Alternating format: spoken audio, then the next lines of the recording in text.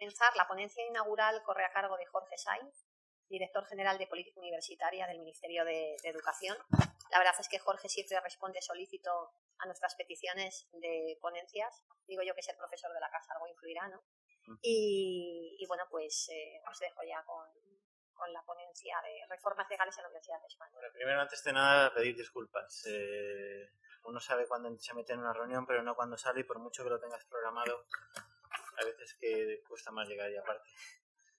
Mi despacho no está en el centro de Madrid, está en las afueras y llegar de un sitio a otro a veces que son más horas de lo que más tiempo que esperaba. Simplemente pedir disculpas y esperar que lo que os cuente por lo menos compense un poco la, el retraso. En primer lugar, dar las gracias a, pues, a los que me habéis invitado para, para, venir aquí. Siempre está bien venir. Como dice Mariluz, eh, trato de venir siempre que me llaman tampoco me llama mucho, debe ser porque tampoco, que nadie quiere reconocer, reconocer que, el, director general del ministerio es de la casa. Eso es broma. Me trata muy bien y sobre todo yo vengo siempre porque tengo el despacho ahí y no quiero que nadie me lo quite porque sigo, sigo teniendo algún doctorando y hay cosas que... Y obviamente cuando, cuando este ciclo termine volveré corriendo a mi despacho porque la verdad ser profesor de universidad yo creo que es una de las cosas más bonitas que alguien puede ser. Entonces, cuando me dijeron que viniese a contar cosas, eh, lo que vengo a contaros es un poco las reformas legales que tenemos ahora mismo en marcha dentro del Ministerio. Habéis, habéis oído hablar de todas ellas, algunas con mayor grado, en otras con menor grado. Lo que voy a contaros un poco es mm, las que las que presentamos ya antes del verano pasado y que están ahora mismo eh, o terminando su tránsito por Hacienda o ya en Consejo de Estado y que por lo tanto estarán en las próximas semanas eh, tramitándose, tramitándose o ya como Real Decreto. Antes de eso, antes de empezar con la primera, comentar la que ya ha salido, que es la Real Decreto de, que homologaciones, equivalencias y correspondencias, es el Real Decreto 967-2014, últimamente me aprendo esos números con una facilidad pasmosa, es el Real Decreto que trata de un poco de hacer la equivalencia entre los niveles que había pre-Bolonia y post-Bolonia, aparte de, de, una cosa que parece una tontería, pero los reales decretos que había hasta ahora dentro de, de las equivalencias, lo que planteaban era eh, la equivalencia a licenciaturas, es decir, si venía un extranjero con un título, eh, pues ese título tenía que hacerse la equivalencia a licenciatura. Como ya no hay licenciaturas, cuando se les pedían eh, compensar carencias porque les faltaban en el caso de economía, les faltaban eh, horas de estadística, horas de estructura económica española, que una cosa muy... Pues eh, era difícil hacerlo, entonces eh, las, se hacen ya las homologaciones y las correspondencias a nivel de grado, a nivel de máster, y aparte de eso se hace lo que pues el tema, sobre todo en las ingenierías, ha generado bastante ruido, es la equivalencia que hay entre un título, un licenciado de toda la vida si tiene una, una correspondencia entre ese, ese nivel, si, si, equivale a un máster o a un grado más máster o a un grado. Eh, el Real Decreto salió hace tres semanas, ya está, estamos trabajando en, el, en los distintos aspectos. De hecho, ya hay algunos de los comités que han empezado a evacuar informes y los primeros estarán, estarán al público probablemente la semana que viene, es decir, que se va con relativamente rápido se hace la equivalencia entre los 150 y 146 títulos que había en el, antiguo catálogo y, bueno, pues la cuestión es hacerlo rápido, sobre todo para que algunos, eh, algunos tengan aspectos positivos. El primer proyecto de Real Decreto del que voy a hablar es el proyecto Real Decreto de creación, reconocimiento de universidades y centros universitarios. Básicamente se actualiza las eh, se actualiza un decreto del 91 que, trataba ya eso, eso sobre la creación de reconocimiento de universidades y centros universitarios, sobre todo porque en algunos aspectos este Real Decreto se había quedado ligeramente obsoleto, sobre todo en el entorno de las universidades privadas. entonces no había universidades privadas y ahora pues había que ordenar un poco ese planteamiento. Se simplifican y se actualizan los procedimientos, se refuerza la seguridad académica en el sentido de que los estudiantes que están, que están dentro de, pues, de universidades privadas, pues si hay algún problema, pues que tengan asegurada su funcionamiento.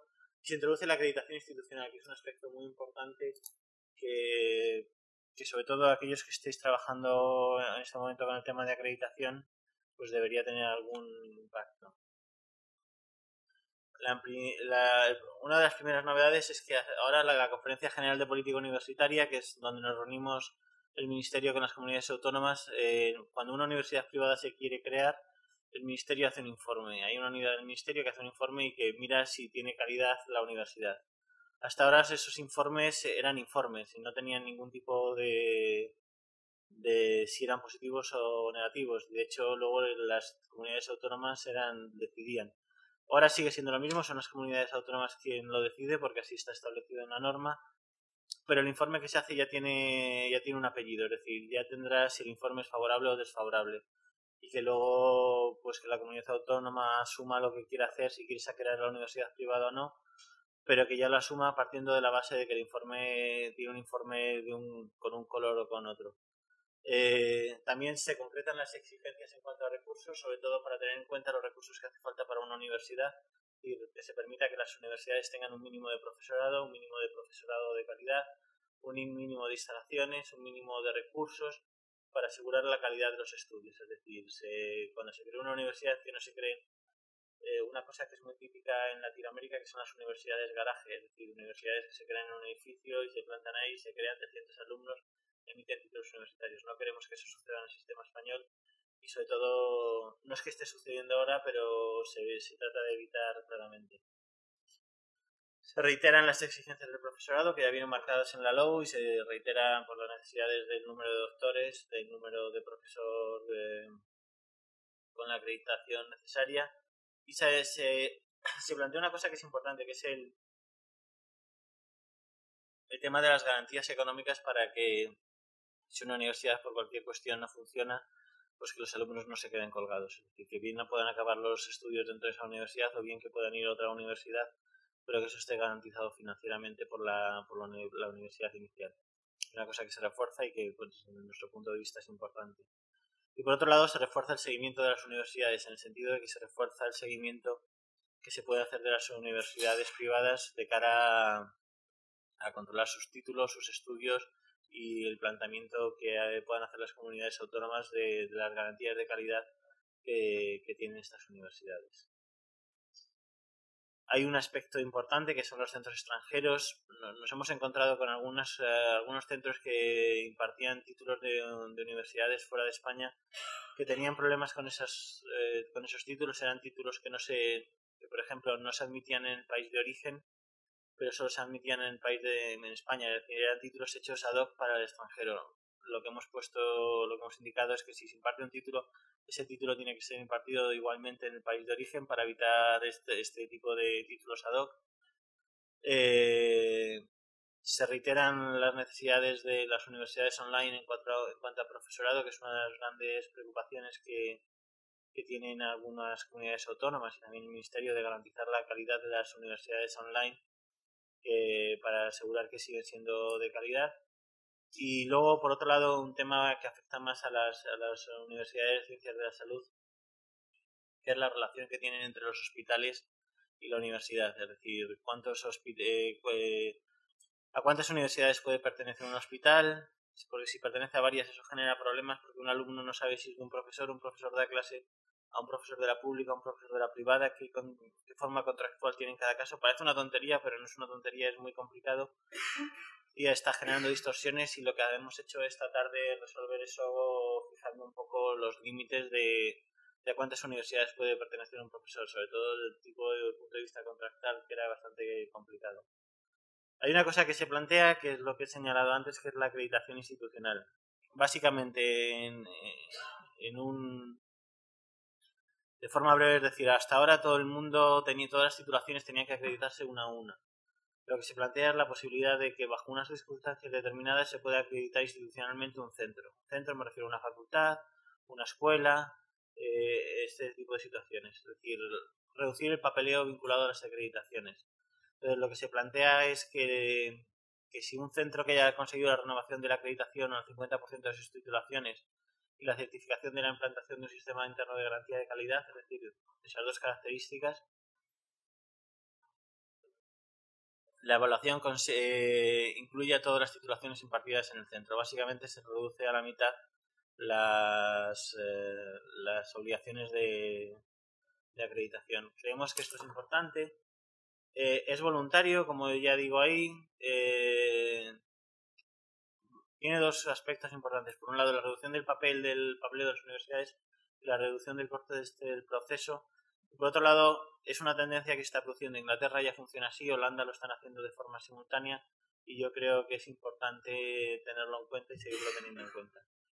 Eh, se combina la experiencia del de, éxito de esto, es decir, la idea básica es, si tú has demostrado que sabes hacer bien acreditación con las acreditaciones que ya tienes, el 50% de ellas, vamos a suponer que no vas a meter la pata y no lo vas a hacer mal en el resto de ellas. Les damos a las universidades, se les da a las universidades una mayor autonomía, una mayor independencia. Esto tiene un segundo efecto también, que esto hay que evaluarlo, es decir, eh, eh, lo que hay que hacer es cada cinco años evaluar este sistema y comprobar qué se está haciendo con especial énfasis en aquellas titulaciones que no están siendo evaluadas, eh, que no están siendo evaluadas título a título. Entonces simplemente se valora. ¿Qué sucede si, se valora que el sistema de acreditación interno y sale que es negativo? Pues lo que sucede si se valora el sistema de acreditación interno y sale que es negativo, eh, tendrían que pasar a evaluar, a, evaluar todas las titulaciones. Pero este es un poco el planteamiento. Mayor independencia, mayor posibilidad de las universidades, mayor capacidad. Eh, mm, esto estará puesto en marcha en los próximos momentos. Aquí hay un programa, un programa que es Audit, que alguno de vosotros ya conocéis, y la idea es eh, seguir trabajando en ese aspecto y reforzar el, ahorro de recursos. En cuanto al mecanismo de garantía de calidad del centro, eh, pues se tienen que tener en cuenta algunos aspectos como, los como cómo se deciden qué títulos se ponen en marcha, cómo no se ponen en marcha, cómo se involucran los actores dentro para la creación de un título, el profesorado que tiene dentro de ese título y también los mecanismos de participación de los equipos eh, implicados dentro de ese título. Eh, ahí tenemos una excepción que es, y de hecho para seguir manteniendo la estructura de calidad online, los títulos online se creemos eh, las instituciones, los departamentos, cuyo cuando sea exclusivamente online, deberíamos, eh, vamos a seguir haciéndolo individualmente. Eh, bueno, pues esto tiene un montón de ventajas. Creemos que, aparte sirve también para, para amparar toda la actividad docente del centro. Servirá para los títulos propios, que es una situación muy extraña, que es, solo se produce en España y en Italia sobre todo se, se, contribuirá a la normalización del título de lo que es un título oficial y generará más flexibilidad dentro de la elaboración de títulos. Y entonces, básicamente, la idea que tenemos es que se ponga en marcha tan pronto como el Real Decreto salga. Habrá que haber, tendrán que instalar las que son las los sistemas de garantía de calidad internos. Hay universidades que ya los tienen avanzados, hay otras universidades que los tienen menos avanzados hay una cosa que siempre me preocupa, ¿cuál es la unidad? Pues vamos a ponernos en el caso de la Universidad de Juan Carlos, pues la facultad, o sea, en este caso sería la facultad, aquí sería la Escuela Superior de Móstoles, serían por las, escuelas de ingeniería, sería la Facultad de Ciencias Sociales y Jurídicas en, en Vicálvaro, etcétera. Esas serían las que serían las unidades a determinar. Este es mi, mi, Real Decreto favorito porque es extremadamente técnico y, es el más gordo de todos, entonces es una línea que contar. Es un principio, básicamente en el 2010 se estableció un set, un, un Real Decreto de suplemento europeo del título y este Real Decreto tenía algunas dificultades, sobre todo de implementación. Una que parecerá una tontería es que se tenía que hacer, eh, los sets se tenían que expedir en A3 con, con, tintas especiales. ¿Qué sucede? Que eso lo tienes que imprimir en imprenta, no hay una impresora que lo pueda imprimir y eso generaba un coste tremendo y una dificultad de impresión tremenda. Los campos no estaban bien, bien definidos, etcétera. Entonces, lo que hacemos es simplemente ponerlo en marcha y hacer que todo una cosa que es, de nuevo, parece una tontería, pero se pasa a que se pueda imprimir en A4. Es decir, que cualquier impresora de dentro de la universidad lo pones el papel tintado y el papel timbrado y, con, y lo puedes imprimir.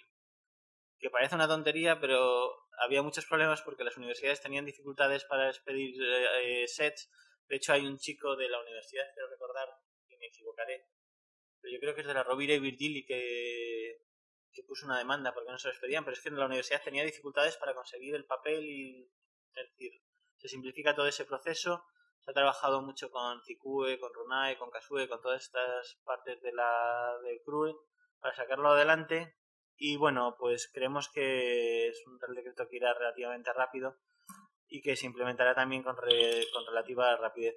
Eh, esto es para el grado, estamos trabajando ahora mismo en otro para, para el doctorado, con otro set para el doctorado y estamos trabajando ahora mismo en ello.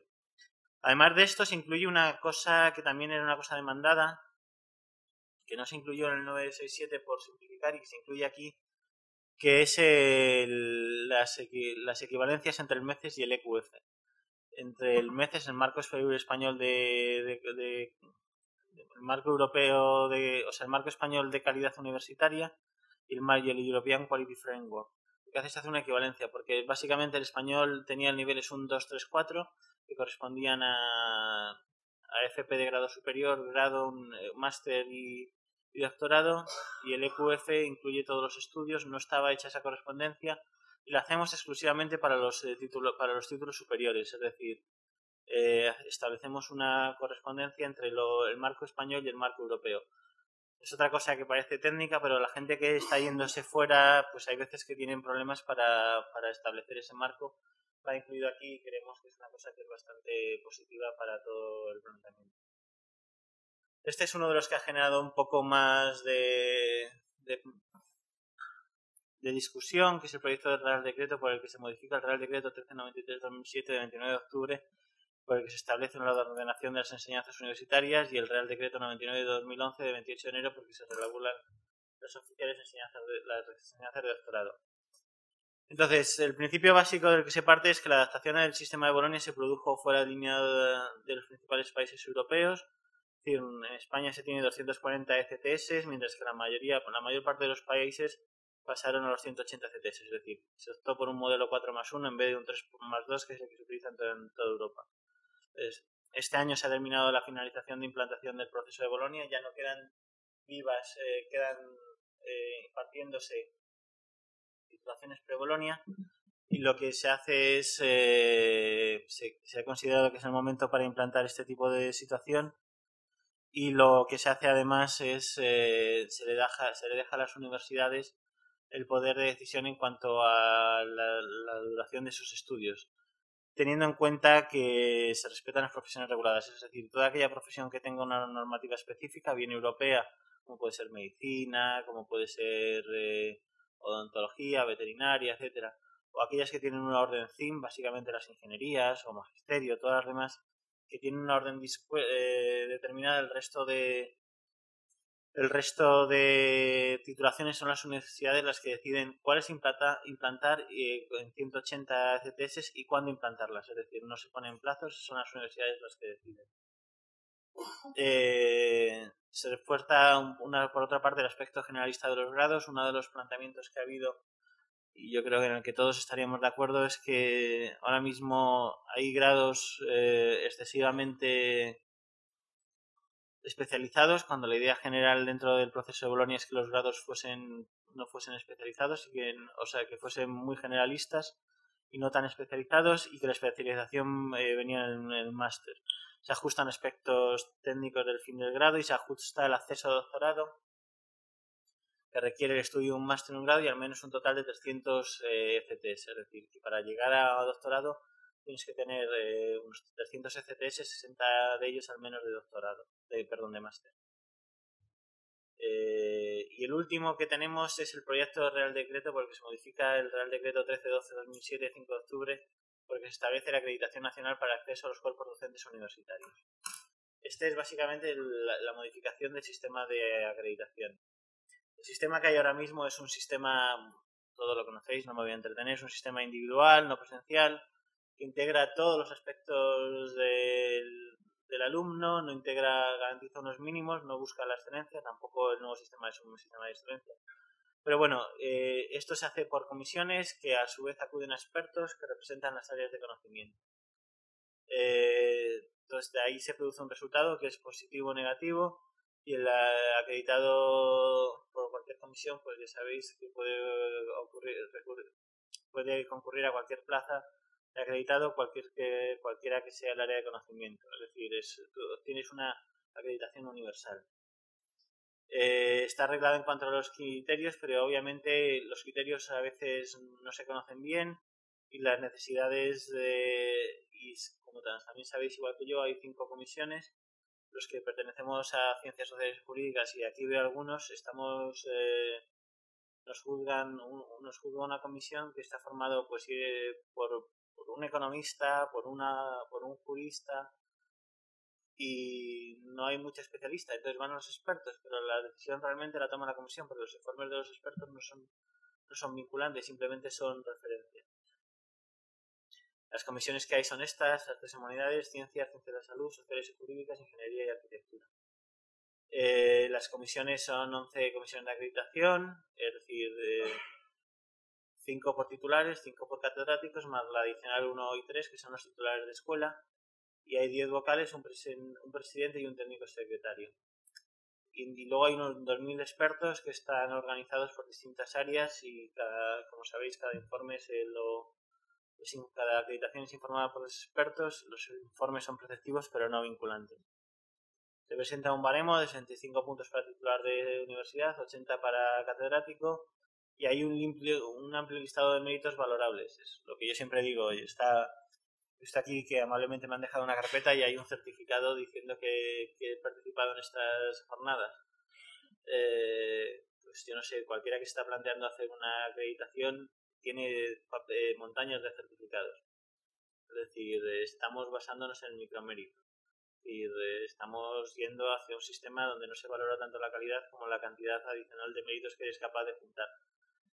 Y a, a mí siempre me hace gracia, siempre que voy a un acto de estos, medio en broma, medio en serio, digo, no me he visto certificado, es decir, porque siempre la gente está buscando certificados y de verdad, yo he visto, yo pertenezco a la comisión de reclamaciones que cuando alguna persona no ha conseguido superar el baremo, el 6580 y no está de acuerdo con, con la puntuación que hay, se hace una comisión de reclamaciones que yo tengo creo que el honor de presidir y donde está conformada por rectores de universidad y y ves expedientes gigantescos. Es decir, porque la gente es capaz de juntar, eh, incluyendo el certificado de haber superado el curso de natación en NGB, a partir de ahí todo lo demás. Es decir, eh, es una situación que es un poco curiosa. Lo que se plantea. A ver. Bueno.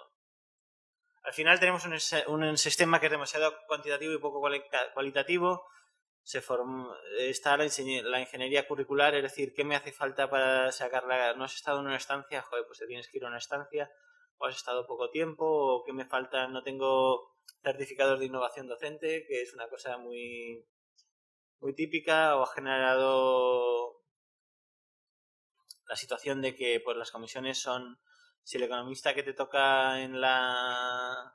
Si, si eres de economía general y, tienes, te ha tocado un economista que no es de tu área no es de aplicada, es de fundamentos, o al revés, es de fundamentos y no es de aplicada, pues no conoce bien tu área, no lo entiende bien, los criterios no han estado muy ajustados y la evaluación siempre es bastante indirecta e iniciaria.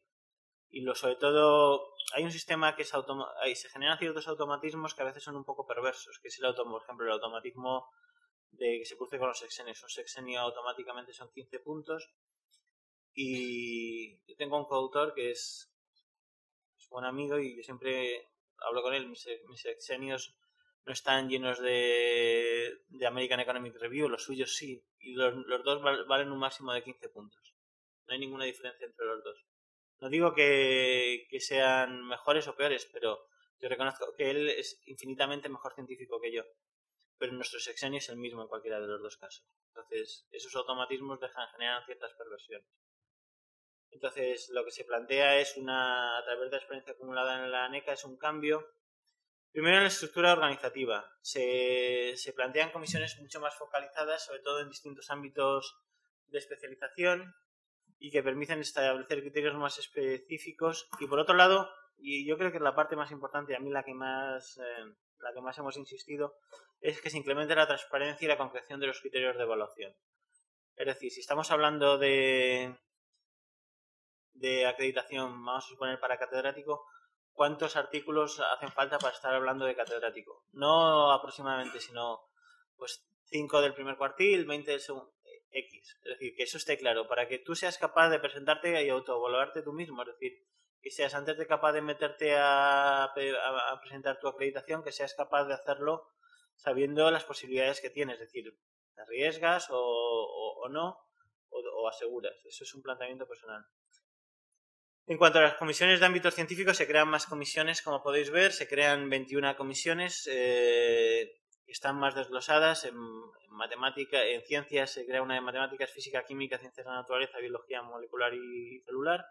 Ciencias de la salud, pues un aspecto muy importante, eran biomédicas y medicina clínica y especialidades.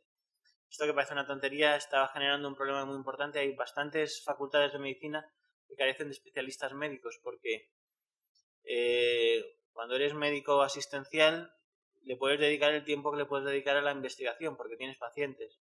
Entonces, ¿qué sucede? Que estaban, al ser la misma comisión, la de biomédicas, estaba generando una situación donde una persona que se dedica todo el día a estar en el laboratorio es capaz de producir mucho, mucho más que una persona que se dedica a estar también con pacientes y estaba elevando el nivel y sobre todo las revistas donde se publican, donde publicaban estas personas son revistas de muy alto impacto, mientras que las revistas de cirugía, por ejemplo, son revistas que, que al ser muy especializadas tienen un impacto relativo, es decir, bastante más pequeño.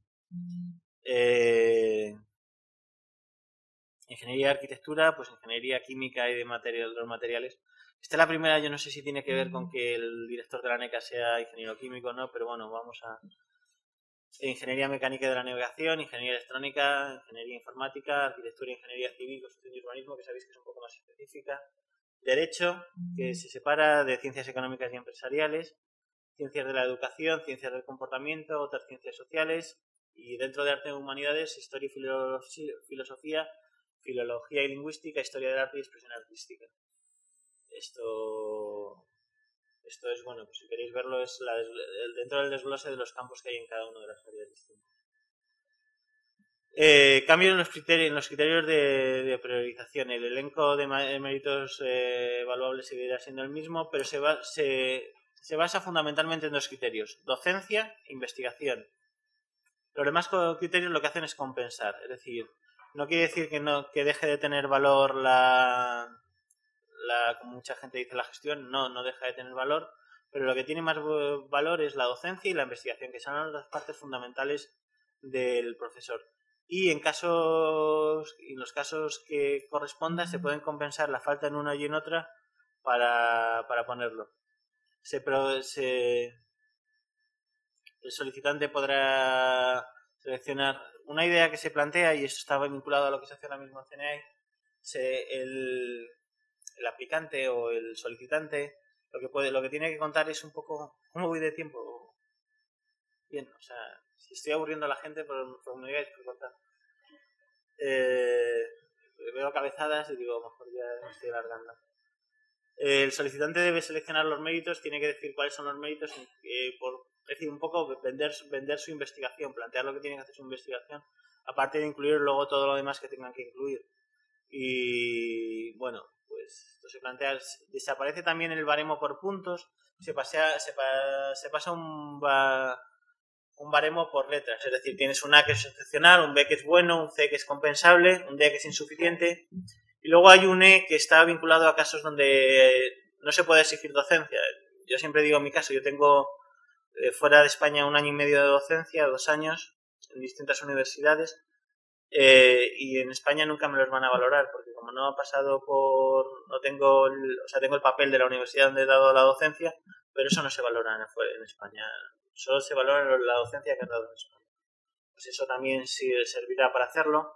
Y se hacen unas tablas que esta es para acceso cuerpo de catedráticos. Perdonadnos la última versión porque tengo un lío de archivos y yo creo que esta no estoy mirando no es la última versión, pero sirve para daros una idea. Como podéis ver, eh, la calificación mínima es la B y teniendo B en, investigación y en docencia, eh, pues es suficiente. lo que es importante es la investigación a docencia, tener niveles suficientes. cada vez está definida en tanto en investigación como en docencia de forma separada eh, dependiendo del área.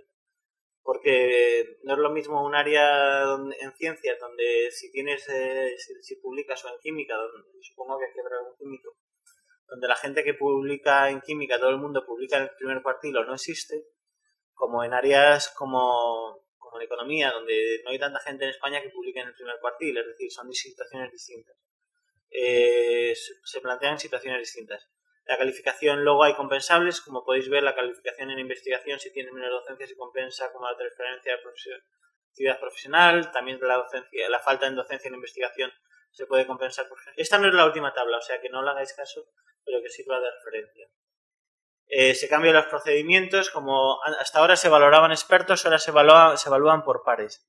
Es decir, son los propios miembros del comité, como hay más comités, los que evalúan los, los artículos. Entonces, los comités lo que pasarán es a tener más personas, pasarán a tener, dependiendo del área, es decir, no es lo mismo un área que es muy masiva y un área donde apenas hay profesorado. Es decir, por ejemplo, hay menos profesorado de filología que hay profesorado de derecho. Entonces, habrá comisiones que estarán entre 7 y 15 miembros. Eh, y eso son ellos los responsables, que es una cuestión que antes eh, que antes los responsables eran, nadie sabía muy bien si el responsable era el experto, era la comisión, ahora es claramente la comisión. ¿Qué sucede? Que hay algunas áreas donde, por ejemplo, en filologías, eh, en filología, profesores de filología prerrománica hay muy pocos, o sea, de, de, hebreo, etcétera. ¿Qué sucede con eso? Pues tendrás que buscar un experto, porque no va a haber una comisión, por muy amplia que sea, donde haya una persona que sepa de hebreo pero seguro que se puede plantear alguna situación donde eso sí que sea posible con un llamado experto. Se refuerza la tramitación electrónica y se hace, se hace todo, se trata de hacer más dinámico. Aparte, se suprime, hasta ahora todas había reuniones mensuales de los expertos, los expertos valoraban, ahora se, se permite hacer de una forma más dinámica con un mayor trabajo electrónico. Y bueno, este es un poco el planteamiento básico de lo que quería contar. Hay una cosa adicional que quiero contar, que también hemos que estamos presentando ya que es el, el la estrategia de internacionalización básicamente nos hemos puesto, hemos puesto de acuerdo a, a todas las partes implicadas que son somos nosotros son las universidades y son otros muchos ministerios donde también hay un trabajo importante que son los ministerios como exteriores para la difusión de las universidades como es el Ministerio de Interior y el Ministerio de Asuntos de, Trabajo y Asuntos eh, de Trabajo y Ministerio de Trabajo para el tema de las visas. Y básicamente lo que estamos consiguiendo hacer es queremos cambiar la perspectiva de la universidad en cuanto a su relación exterior. Muchas veces las universidades eh, nos decían no, para nosotros la, internacionalización de la universidad de la universidad española es la cooperación internacional. Creemos que tenemos universidades que tienen algo que decir fuera, que son capaces de atraer talento, tanto como profesores como alumnos, y como son capaces de atraer talento a profesores y alumnos, eh, de, profesores y alumnos, tenemos que facilitar ese paso, sobre todo porque eso servirá para poner en valor a las universidades, sobre todo por otro aspecto muy importante, que es que las universidades ahora mismo fuera no están ya planteándose competir nacional, están planteándose competir a nivel internacional y nuestras universidades deben estar preparadas en las mismas condiciones. Y un poco lo que hace esta estrategia es basada en cinco ejes, plantear un montón de, de actuaciones por parte nuestra, por parte de las universidades, por supuesto también por parte de otros ministerios que permitan facilitar la entrada de, talento y sobre todo que permitan que no haya más dificultades que las que ya hay.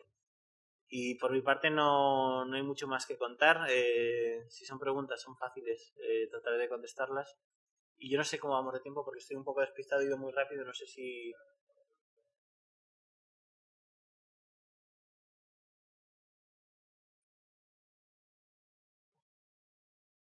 Si me preguntas está perfecto, o sea que yo me voy. Hola, buenos días. Tenemos una pregunta de los alumnos a través del foro de Moodle. Eh, nos preguntan, la sociedad del conocimiento necesita ciudadanos con un alto nivel formativo, instituciones capaces de generar saber y transmitirlo a la, sociedad eficazmente. Entonces, mis preguntas serían, ¿cuál es la respuesta de la universidad? ¿Es suficiente? ¿Puede hacerlo sola? ¿Y cómo, eh, cómo puede hacerlo? Gracias, Mijay. A ver, eh, nuestro planteamiento es que obviamente las universidades españolas eh, tienen que mejorar porque tienen que mejorar todas las universidades del mundo. Es decir, la mejora es continua en todas las universidades del mundo. Entonces, pero partimos de una buena base y esa base es donde hay que apalancarse para, para seguir mejorando. Las reformas que hemos planteado van en, van en origen en la mejora de la calidad del profesorado, van en, la, mejor, en la, la facilitar la internacionalización porque si mejora la internacionalización te permites competir con más facilidad internacionalmente y cuando compites es cuando también vas viendo cuáles son tus necesidades, tus carencias y tus, y tus fortalezas, porque también las hay y, hay y las hay muchas. Y yo creo que en ese sentido nosotros lo vemos como una gran posibilidad de mejora en, cuanto a estas actuaciones. Por supuesto, eh, estamos abiertos a cualquier idea, a cualquier planteamiento que se nos haga y seguimos trabajando en ello. Es decir, y me consta que las universidades siguen trabajando en ellas. Ayer, por ejemplo, presentamos una cosa que para nosotros es importante, que es el, el mapa de empleabilidad. Se lo presentamos a las universidades de la Universidad Española. El mapa de empleabilidad lo que hemos hecho, y aquí, aquí suelto la pastilla, tengo pastilla mapa de empleabilidad. Pero bueno, simplemente para contarlo rápido, hemos mezclado las, la, hemos cogido todos los egresados en el curso 2009-2010 y los hemos seguido cuatro años eh, y hemos cruzado sus datos con los datos de afiliación en la seguridad social. Y sabemos cuántos empleados hay por titulación, por universidad, durante esos cuatro años, 2010, o sea, 2011, 12, 13 y 14. ¿Y por qué lo hemos hecho? Porque creemos que las personas cuando entran a la universidad tienen que saber ese tipo de situaciones cómo afectan, es decir, tienen que saber cuál es la, la tasa de afiliación de, de, de, esas titulaciones cuando según va pasando el tiempo, tienen que saber cómo, cuál es la cuáles son los, el, los contratos que son definidos, la sobrecualificación que hay en, eso, en esos estudios, etcétera. Lo que creemos que es que cuanto más información haya, más fácil es tomar una decisión. Sobre todo que las universidades, y era una de las cosas que planteaban ayer los rectores y los consejos sociales que estaban en la presentación, eh, puedan tomar los, los, las decisiones que ellos consideren para mejorar las titulaciones o modificar sus planteamientos.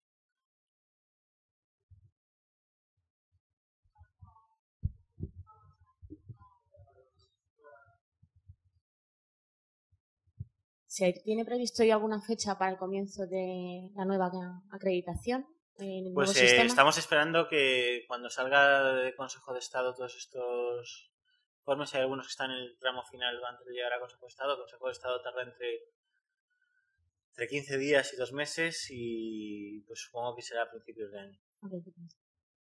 ¿Y el, el, sistema de penalización va a ser algo parecido? Define el sistema de penalización. Sí, el, presentarse a la acreditación. No, es decir, eh, lo, que, lo que va incluido en el Real Decreto es que si tú tienes, eh, si te presentas con el sistema antiguo, te puedes volver a presentar con el nuevo sin pasar los 18 meses. Pero si te presentas con el nuevo y pasan.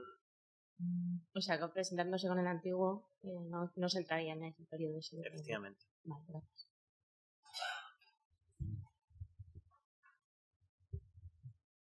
Hola, yo tenía una doble pregunta. Uh, una es, uh, aunque yo creo que es muy bueno uh, evaluar los resultados de la universidad en términos de empleabilidad, porque es básicamente para lo que los alumnos vienen. tenía una curiosidad relativa a si la ley de protección de datos permite que se crucen los datos de, de los alumnos y se le haga un seguimiento durante años. Esa era una. Y la segunda pregunta que tenía era, si lo he entendido bien, nosotros teníamos un sistema de tres años más dos años, donde los tres primeros solían ser... cuatro más uno. No, digo inicialmente hace tiempo. Nunca hemos tenido tres más dos. Eh, eran diplomaturas licenciaturas, al menos ah, bueno, en ingenierías. Entonces, en la lo puedes definir así, pero no era... Sí, pero no, en, en, la práctica solían ser, al menos en ingenierías, que es la parte que conozco más, solían ser un sistema de tres años relativamente generales dos años relativamente específicos.